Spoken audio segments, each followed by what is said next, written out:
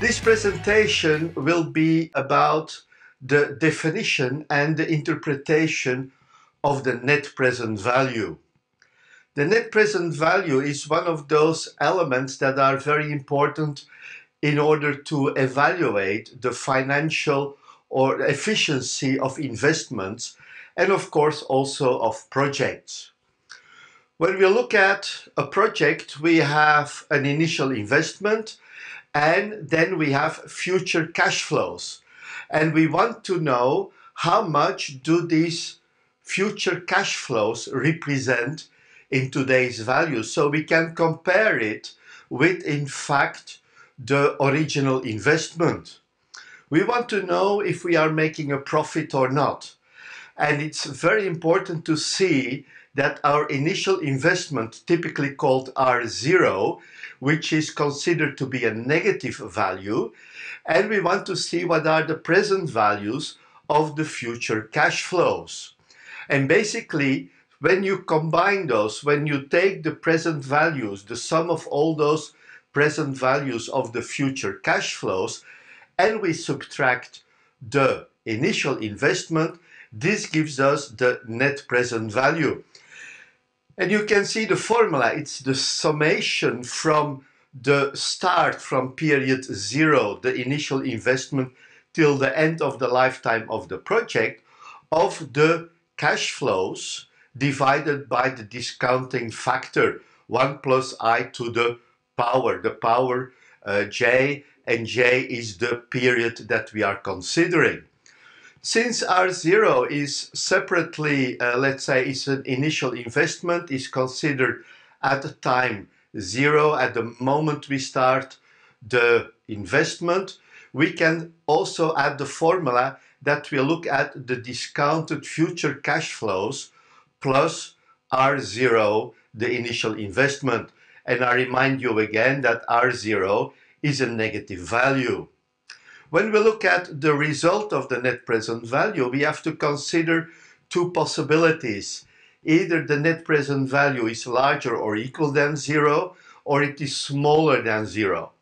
When we have a net present value larger than zero, it means that the future cash flows, the present value of the future cash flows, is higher than the initial investment. And that, of course, means that we are making a profit. On the other hand, when it's equal to zero, it means that we are in fact just compensating the initial investment. We're not making a profit, but we are not at loss too. When the net present value is negative, on the other hand, it means that the future cash flows, the discounted future cash flows, are less than the initial investment. And that also means basically that we're making a loss.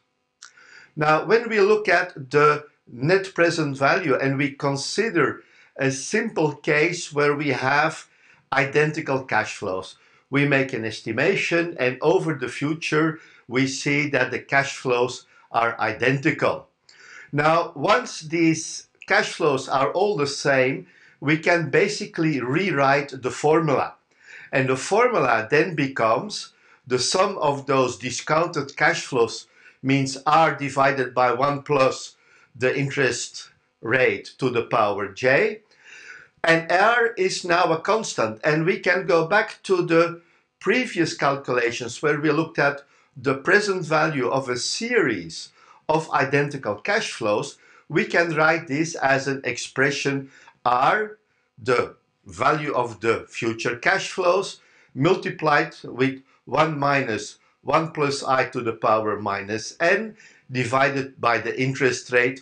And of course, we subtract the initial investment or we add R0 because R0 is a negative value. Let's have a calculation. We have an initial investment of $100,000. We have future cash flows of $40,000. That's what 40K means we have an interest rate of 17% and we consider five cash flows, so five years of cash flows at 40K. When we put this in the formula, we find that the net present value is 40K multiplied with 1 minus 1.17 to the power of minus 5 divided by 0.17 and we subtract the 100k, this is R0, and we find a net present value of $27,973.85. Uh, so in this case, we have a positive result. The net present value is positive, so we are happy our investment or our project has in fact a positive outcome. Now, we don't always have those fixed cash flows. The cash flows depend on the actual situation and we may have to consider what is happening in the future. We want to have a realistic overview of what the future will bring us. So we try to find the best estimation of those future cash flows. Let's have a look at an exercise with variable cash flows. Here we have, again, a discount rate of 17%. We have an invest, investment, initial investment of 100,000. After year one, we have a cash flow of 70K, year two, 30K, year three, 30K again, year four, 25K, and year five, 10K. What we have to do now is to discount these cash flows. We want to know the present value of each of those cash flows. So for 70K, since we have 17%, we have to divide the 70K by the discount factor 1.17, which gives us $59,829. I rounded up to the dollar because the cents will not make a lot of difference in the total calculation. For accounting reasons, that's something different. But here for the calculation of the net present value, their effect will be very small basically. We do the same for the 30K. So now we divide the 30K by 1.17 to the square, which gives us $21,915. We do the same for the third period. We have again 30K, which we now divide by 1.17 to the third power, which gives us $18,731. The 25K we discount over four periods, so we divide by 1.17 to the fourth power, and it gives us $13,341. And then the last one, the five, period five, we have the 10K, we divide by 1.17 to the fifth power, which gives us 4,561. The only thing we have to do now is to add up all those present values and we find an amount of 118,377. Now, the net present value we get by subtracting the initial investment. And that initial investment is $100,000. So basically, the net present value is equal to $18,370 and we are happy because it's larger than zero. Now we see there is a small difference, although when we would look at the cash flows as such, there will not be a very big difference, but we see that basically with the change in cash, cash flows, we find a lower uh, net present value in this case. So let's have a look at some possible issues with the net present value. Now, when we have certain elements, we may have some limitations when we look at the net present value. One of the elements is when we have large, uh, let's say, end of life investments. Consider the dismantling of a nuclear power plant, of a chemical installation, of a very specialized laboratory, things like that. Those things can cost a lot of money just to dismantle at the end of the life cycle. Now, when we look at the discounting, we have that amount we put in our uh, cash flows, that very large end life amount that we are going to consider at the end of the life. And it's, of course, a negative cash flow, it's an additional cost. Now, when we look at 50 years, 60 years, depending on the lifespan, we see that the discounted value of that long, uh, let's say, um, end of life investment is discounted so much that the effect of the net present value is minimal. And that may lead to the fact that we're overestimating the net present value.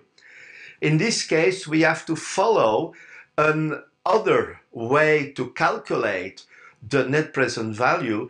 We don't put the end of life span investment there, but what we are going to do is we are going to create what we call provisioning. We're putting away money over the years that will give us a future value that's equal to the investment that we need to do at that moment.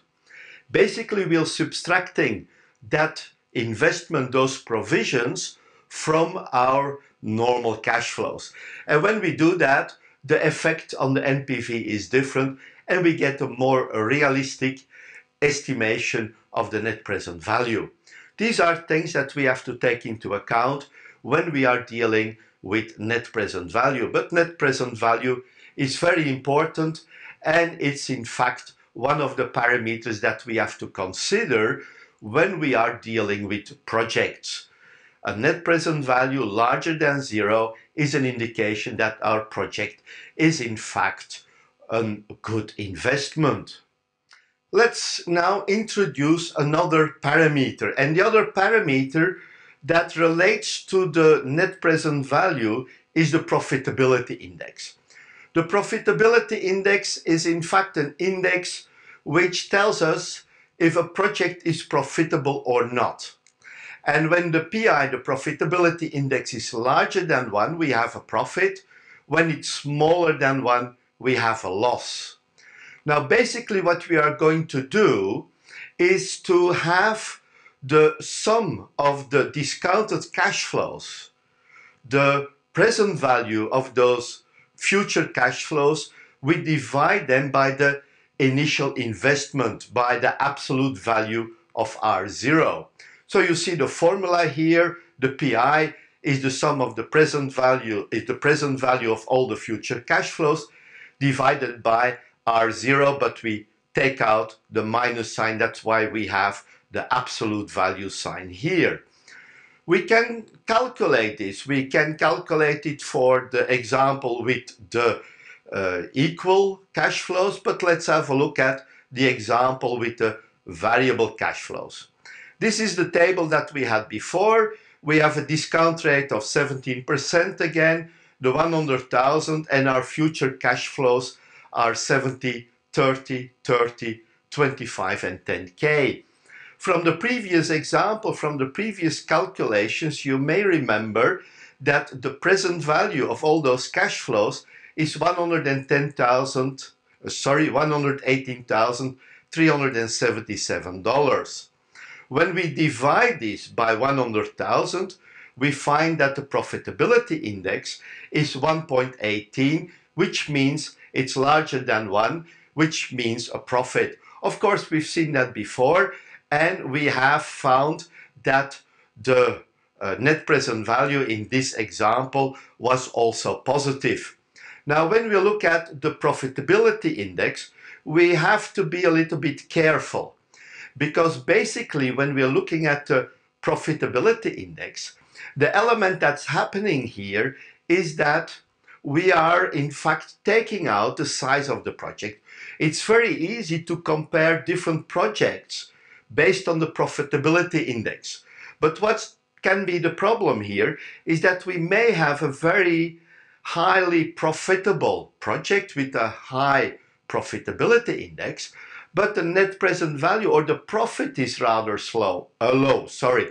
So basically, we lose the size of the project, which has an advantage.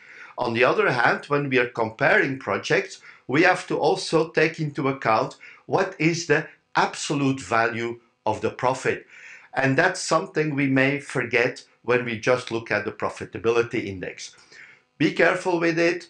It's a good parameter to compare different projects and we can set a minimum profitability for certain projects. but we should never lose out of sight the fact that the absolute value of the profit is also very important for an investment. That was it. We defined very important parameters, the net present value, the profitability index. These are very important tools when you're looking at investments. Also, when you're dealing with projects, those two parameters should be part of your toolbox and you have to understand them. Perhaps you don't always have to calculate them as a project manager, as a financial person. Of course, you have to be able to calculate them. You have to be able to use Excel formulas. We will see that in the next presentation. But this is another important tool for your project management or your investment toolbox, wherever you want to use it. I thank you for being here. This is the end of this video. See you later. Thank you and bye bye.